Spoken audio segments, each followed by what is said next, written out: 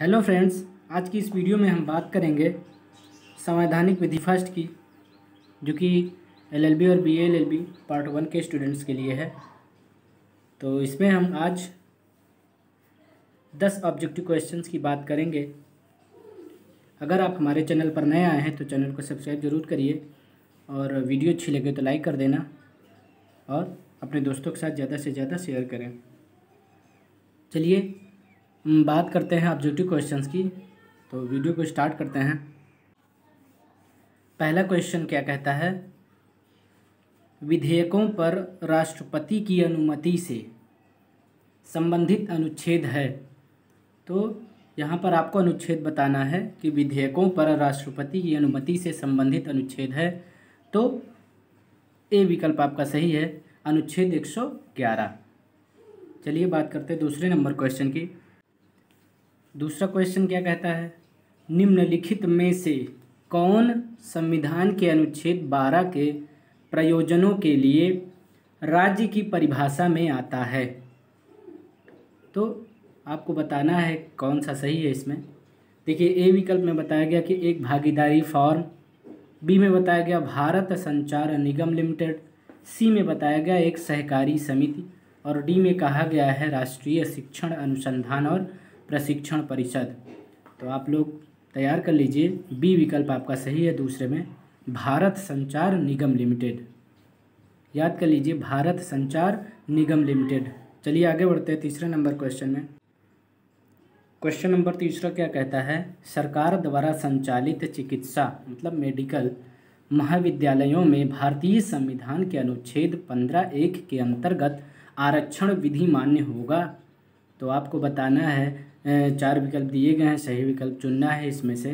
तो ए में कहा गया है जन्म स्थान के आधार पर, बी में कहा गया है कि जाति के आधार पर, सी में कहा गया है अधिवास के आधार पर और डी में कहा गया धर्म के आधार पर। तो आपका सी विकल्प इसमें सही है, अधिवास के आधार पर। चलिए आगे बढ़ते हैं चौथे नंबर में। चलिए बात करते हैं चौथे नंबर क्वेश्चन की। चौथे नंबर क्वेश्चन में क्या कहा गया है कि भारत के राष्ट्रपति द्वारा संसद का संयुक्त सत्र आहूत किया गया था। तो कब किया गया था, ये आपको बताना है इसमें। ए विकल्प में कहा गया, दहेज प्रतिषेध अधिनियम के लिए। फिर बैंक सेवा आयोग अधिनियम के लिए मतलब किसके लिए किया गया था ये चीज़। और सी में कहा गया पोटा के लिए, और डी में कहा गया, उपयुक्त सभी अधिनियम को पारित करने के लिए। तो आपको सही विकल्प बताना है तो आपका चौथे में जो है, डी विकल्प आपका सही है, उपयुक्त सभी अधिनियम को पारित करने के लिए। आ गए हैं हम पाँचवें नंबर क्वेश्चन में।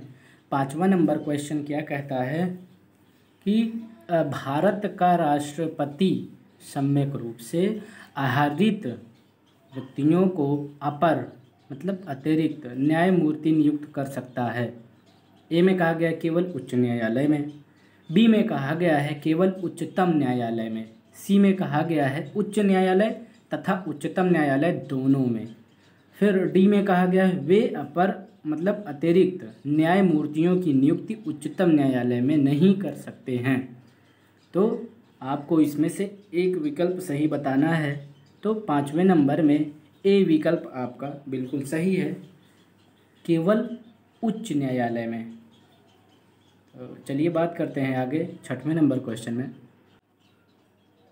आ गए हैं हम छठवें नंबर क्वेश्चन में। छठवां नंबर क्वेश्चन क्या कहता है कि भारत के संविधान में, भारत के संविधान में संसदीय प्रणाली की सरकार की आधारशिला है।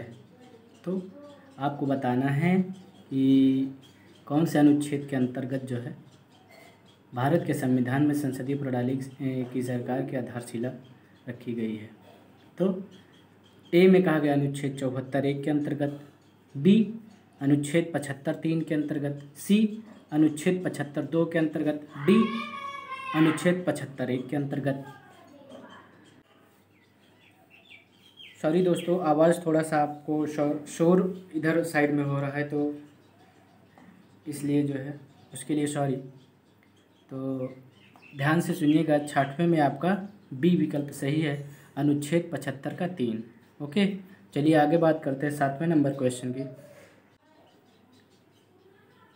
सातवां नंबर क्वेश्चन क्या कहता है कि निम्नलिखित में से किसे पद और गोपनीयता की शपथ लेने की आवश्यकता नहीं होती है? तो ए में राज्यसभा का सभापति, फिर बी में वित्त मंत्री सी में लोकसभा का अध्यक्ष डी में राज्य का राज्यपाल।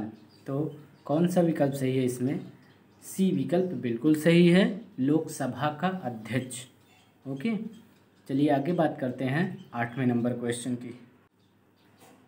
आठवां नंबर क्वेश्चन क्या कहता है कि गिरफ़्तार करने वाला प्राधिकारी एक महिला को विधिमान्य कारण होने पर, कारण का उल्लिखित उल्लेख करके दिन या रात्रि किसी भी समय एक महिला पुलिस की अनुपस्थिति में भी गिरफ़्तार कर सकता है। निम्नलिखित वादों में से किसमें उच्चतम न्यायालय ने ऐसा निर्णय दिया? तो आपको बताना है कि कौन सा वाद है जिसमें उच्चतम न्यायालय ने ऐसा निर्णय दिया है। ए में कहा गया संतोष डे बनाम अर्चना गुहा। बी में कहा गया है बीना सेठी बनाम बिहार राज्य।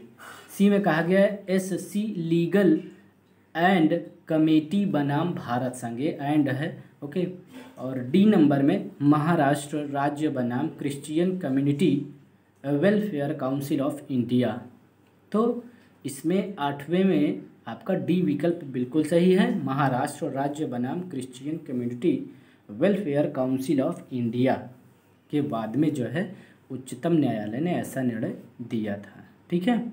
आगे बात करते हैं नौ नंबर क्वेश्चन की। नाइन नंबर क्वेश्चन क्या कहता है दोस्तों? ध्यान से सुनिएगा। निम्नलिखित वादों में से किस वाद में आपको यहाँ पे भी वाद ही पूछा गया है कि किस वाद में यह विनिश्चित किया गया है कि ऋषिकेश नगर पालिका क्षेत्र के अंतर्गत अंडे बेचने पर लगाया गया निषेध, संविधान के अनुच्छेद 19 एक छा छड़ी मतलब छा के, छा का उल्लंघनकारी नहीं है। ओके? तो आपको बताना अनुच्छेद 19 एक छा का उल्लंघनकारी नहीं है। तो कौन सा नहीं है आपको ये बताना है? तो ए विकल्प में कहा गया है, बी आर इंटरप्राइजेज बनाम उत्तर प्रदेश। बी में कहा गया है, ओम प्रकाश बनाम उत्तर प्रदेश राज्य। सी में कहा गया है, सी के जैन बनाम उत्तर प्रदेश राज्य। और डी में कहा गया है, श्रीनिवास, जनरल ट्रेडर्स बनाम उत्तर प्रदेश राज्य। तो आपका नौ नंबर क्वेश्चन में, दोस्तों बी विकल्प आपका सही है। ओम प्रकाश बनाम उत्तर प्रदेश राज्य। चलिए आगे बात करते हैं दसवें नंबर क्वेश्चन की, जो कि लास्ट क्वेश्चन है इस वीडियो का। तो दसवां नंबर क्वेश्चन क्या कहता है दोस्तों? समान नागरिक संहिता किस अनुच्छेद में है? समान नागरिक संहिता किस अनुच्छेद में है? इंपॉर्टेंट क्वेश्चन समझ में आ रहा है। ठीक है? तो ध्यान से देखिएगा। भाई, किस अनुच्छेद में अनुच्छेद पूछा गया? देखिए ए में कहा गया है अनुच्छेद चौवालीस के अंतर्गत।